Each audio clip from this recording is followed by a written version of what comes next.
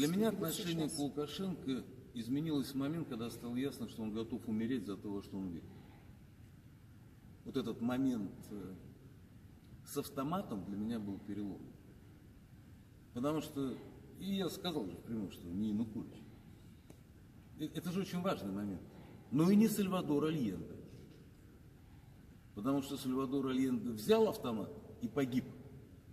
А здесь надо было взять автомат и победить. Здесь есть принципиальная разница. Как То вы есть считаете, мало просто взять автомат. Надо взять автомат и оказаться среди людей, которые понимают, что ты пойдешь вместе с ними.